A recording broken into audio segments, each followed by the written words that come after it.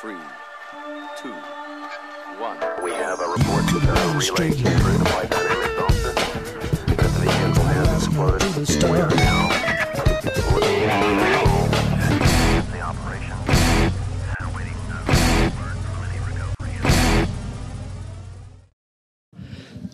Değerli arkadaşlarımız, günaydınlar hepinize.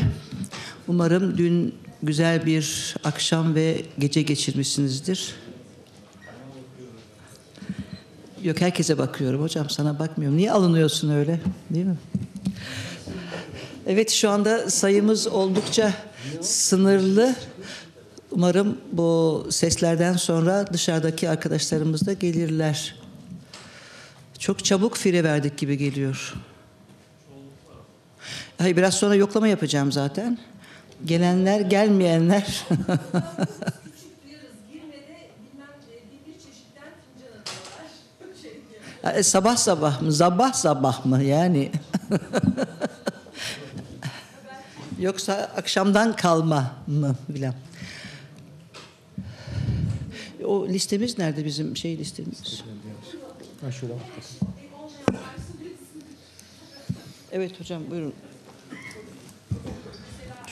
Şey, bunun işini hallettik hocam. Efendim? Kaybetmiş. Kaybetmiş mi sahi? Bulunmuş.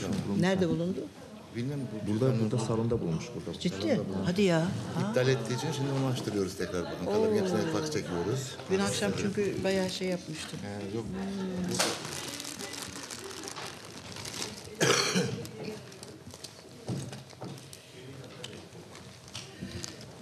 Hocam uzaktan eğitimi bunu alabiliriz istiyorsanız. Önce şu gündem maddelerimizi bitirelim de. Ya kalem nerede?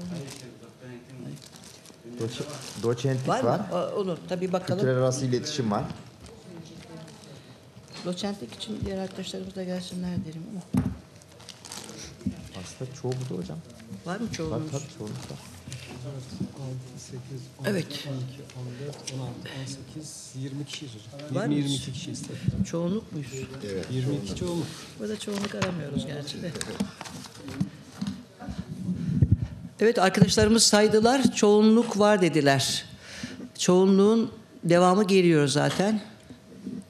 Evet Lefke geldi. Anons ediyorum şu geldi, bu geldi diye. Güzel. Bu, bu taktiği beğendim. Lefke de geldi.